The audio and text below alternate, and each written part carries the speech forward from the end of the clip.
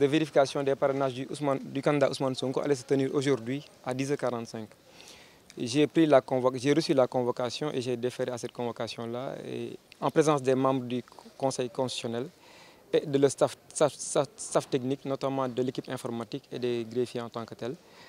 Nous avons procédé à la vérification des parrainages déposés par la coalition Sonko Président pour valider la candidature du candidat Ousmane Sonko à l'élection présidentielle du 24 février 2019. La vérification s'est déroulée dans de bonnes conditions.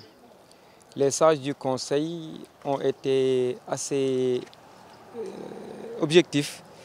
Ils ont eu à vérifier les dossiers en tant que tels et, la vérification a été probante.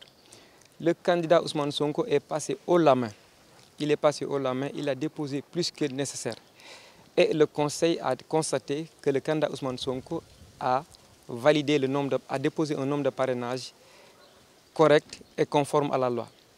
il a, vous avez euh, Plus de 62 61 000 parrains, plus de 61 000 parrains validés. Pas de doublons pas de, pas de doublons, pas de doublons. Il y a des, il y a des, il, il y a 61 171 parrains déposés et validés par le, par, par, par le Conseil. Il y a des euh, parrainages qui peuvent être susceptibles de régularisation, mais ce n'est pas nécessaire car, car nous ne sommes pas dans une situation de régulariser. Nous avons déposé ce qu'il fallait déposer. Le Conseil a dit que nous avons passé le cap du parrainage.